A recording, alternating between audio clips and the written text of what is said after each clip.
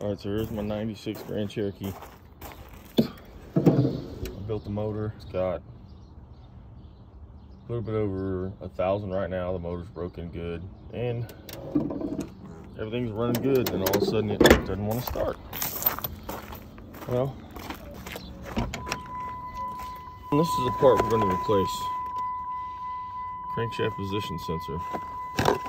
And this is kind of weird because it had me going at first. The symptoms were I just filled it up full of fuel.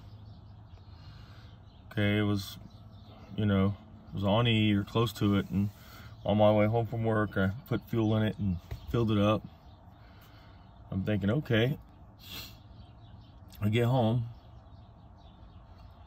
and I'm wondering if I happen if if I shut it off, going somewhere else, if I would have been stranded. But basically,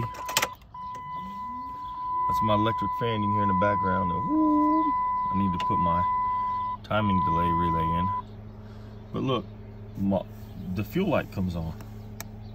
I just filled it up. I know it's full.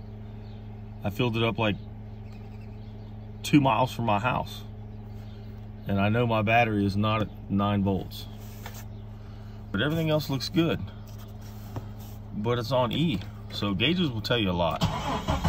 Cranking, I'm cranking, I'm cranking, I keep cranking. I don't hear the fuel pump. I don't hear the of the fuel pump. Um, you know, of course you don't hear the fuel pump. It's the first thing. Look at this. No fuel is gonna come out. None. I just put a fuel pump in it. So I read on the forum, and the guy says, well, your crank position sensor can can do weird stuff. So he's like, check for spark. Why? I said, you know, I could do that. Or I could reach right over here. And this is where it comes into the harness. And I know this goes in my crank position sensor. So I'm gonna unplug it.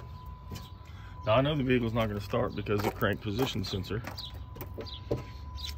I covered this in an earlier video, but here's my electric fan now, and it does help with the gas mileage. I haven't driven it that much until this happened, but I can I can tell a little bit of difference. Uh, it's got this automatic, it's got this gas mileage average calculation on these old 96 Grand Cherokees. Now look at that, there's a difference. All I did was unplug that. So I know my tank is full. However, I know it's not gonna crank because my crankshaft position sensor is unplugged. And what I'm getting from the forums, that's an old post. This guy said it is rare, but when these things do go out, sometimes they, they short out. And the, the place that had it real close was, was AutoZone. They say use an original Mopar one. I'll order one. But that's what we're going to replace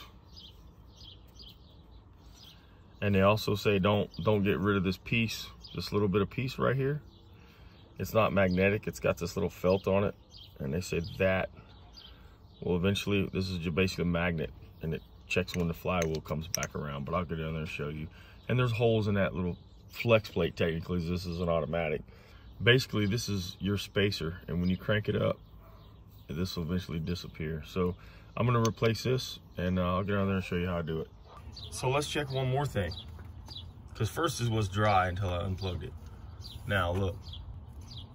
See the fuel coming out? Before it wasn't doing that. Yeah, it should be more, but it, will get the air out of the system. But before it wouldn't do any fuel. It was actually dry until I unplugged it and tried it. To me, that tells me that's the crank, the crankshaft position sensor, which is actually over here. Actually right down in here. Okay, that's it right there those wires come to right there. So I'm gonna get out of the truck and show you what I'm doing. I'm on the driver's side and what I want you to see is this, this is it right here, okay? This is your shifter cable, right? It comes around, tells you transmission, park, reverse, neutral, whatever, here it is. You can take that off and get that out of the way.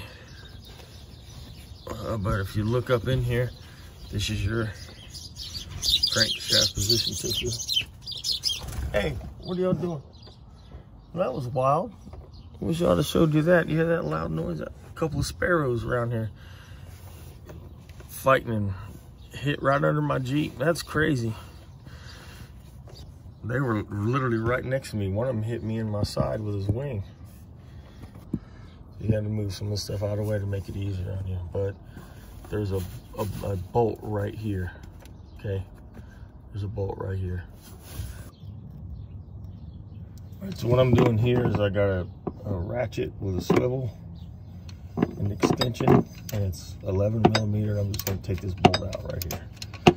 I could have got my little electric ratchet and did it, but I'll just, once I get it out, I'll show you. It's gonna take your time with it, okay?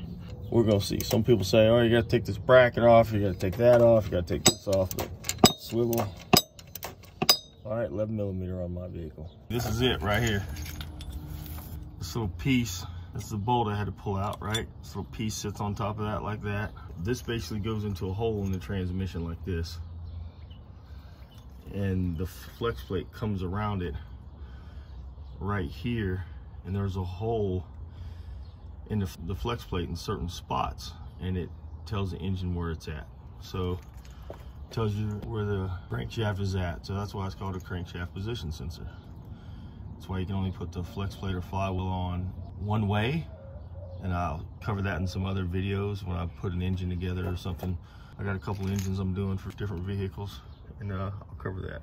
Basically, I unscrewed this and it took a little while because didn't want to come out and I turned this up and there's just enough room to pull this out. Okay, so there's your crankshaft position sensor. There's the old one. Here's the new one. Okay, so I'm gonna put that in and we'll see what happens, okay? And a lot of people say use the Mopar, only Mopar because they fail, it's not good quality, whatever, but I'm gonna, I'm gonna give it a shot. And uh, this thing has a lifetime warranty, so if it fails, hopefully it doesn't leave me stranded somewhere, but because this is where it goes right here where you see my finger moving that's the hole that it goes in see if i can get up there and get you a little better video okay that's the hole it goes in anybody can see that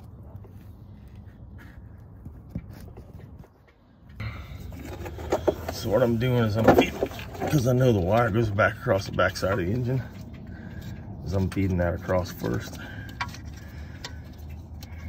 you want to be careful. I Don't want to rip these wires, but it's got to line up in the hole just right. Would it be easier for me to just do this and not make a video? Yeah, but there we go. Slid in. The thing I hate about this crap. See these little sharp edges right here and right here. Like if I got my head up here like this, smack right in the head, and I'll come out from a vehicle and somebody be like, "What happened?" You gotta be careful. shit hurts when you lean your head up. You concentrate on what you're doing, you forget there's a sharp edge there and smack, you know? Okay, so there she is, okay? With that piece back on it. So yes, it would be easier to move this cable out of the way. Right there, there's position sensor right here. There's a bolt that's right there okay right here this is like i said this is your shifter cable the crankshaft position sensor is right there it's in that hole this little brackets over the top of it. I've seen them without the brackets. But basically there it is okay? And i just keep this heat shield on there if you can. It keeps the cable from getting too hot from the exhaust right here. Okay so this got a shield on. It's a pain in the butt. But it keeps this cable from melting from this exhaust. I've seen them off too, but whatever. Okay, so now we're back up top here. I've run this cable back here. Uh, ran it back here in the back. That's the thing, you want to run the cable. There's other tricks that you can do, like one guy was saying, grab you a piece of string or something, and that way when you pull this connector out, you can attach a string to the new one and pull this connector and which that that's a, probably a pretty good trick. Looks like it's caught up on something. All right, so there she is. All connected up. So let's go inside and see what it looks like.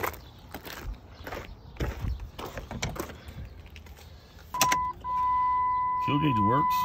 Let's see what happens. Man, this thing fired right up.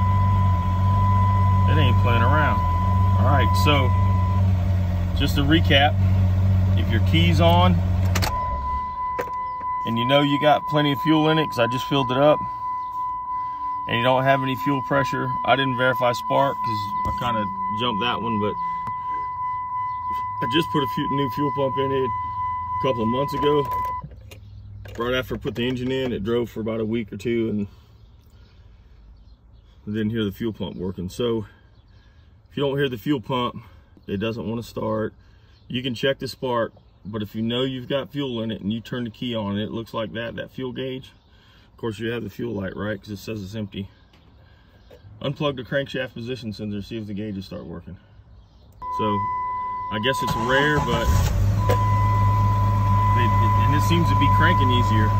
So that was the other thing. This thing didn't want to crank up when it was cold first thing. It didn't want to, even if I cycled the fuel pump, I had to give a little bit of the throttle because it didn't want to crank up.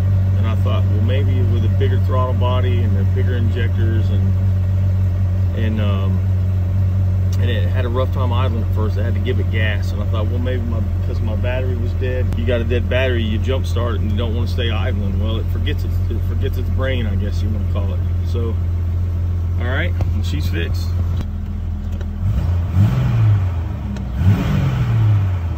She's running. So that's a crankshaft position sensor on that 96 Jeep Grand Cherokee Laredo